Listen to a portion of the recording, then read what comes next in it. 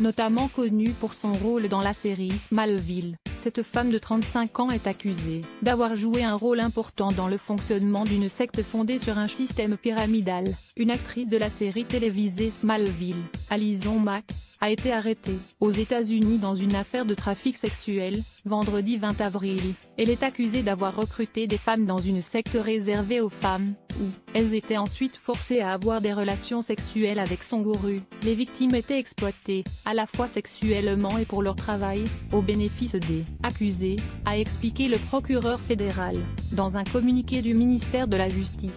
Kate Ranier, à la tête de cette organisation, avait été interpellée fin mars au Mexique et extradée vers les États-Unis. Elle, elle a fondé en 1998 une organisation baptisée Executive Success Program, S, qui tenait des séries d'ateliers dont le but officiel était de réaliser le potentiel humain des participants. En 2003, il a créé une deuxième entité, baptisée NXIVM, qui chapeautait ESP, selon la plainte déposée mi-février par le ministère public devant un tribunal fédéral de Brooklyn.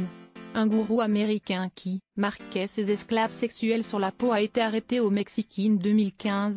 Le gourou présumé aurait créé une organisation parallèle pyramidale, baptisée Do, qui comprenait des esclaves et des maîtres. Tous les membres étaient des femmes avec, au sommet de la pyramide, Ketranier lui-même, avant d'être accepté comme esclave. Les femmes devaient fournir des garanties, c'est-à-dire divers éléments compromettants pour elles-mêmes, photos, lettres ou documents, que l'organisation se réservait le droit de rendre public si elle quittait d'au point l'une des missions des esclaves était d'avoir des rapports sexuels avec Ketranier. Ces femmes étaient en outre marquées des initiales du gourou à l'aide d'un stylo à qui brûlait les chairs. La victime était maintenue immobile par d'autres femmes et chaque séance était filmée. Après la défection de plusieurs membres et la publication d'un long article dans le New York Times, en anglais, en octobre dernier, le gourou présumé s'était enfui au Mexique. Il est poursuivi pour trafic sexuel, association de malfaiteurs et menaces. Au cours des 20 dernières années, Ranier a établi une série de programmes prétendument destinés à l'entraide. Au sein de son organisation mère appelée NXIVM, assure le communiqué du ministère de la Justice. Alison Mack est accusée d'avoir créé avec le gourou présumé l'un de ces programmes, destinés à recruter des femmes. Selon le procureur de New York, elle était au premier niveau de la pyramide, juste en dessous de Ranier.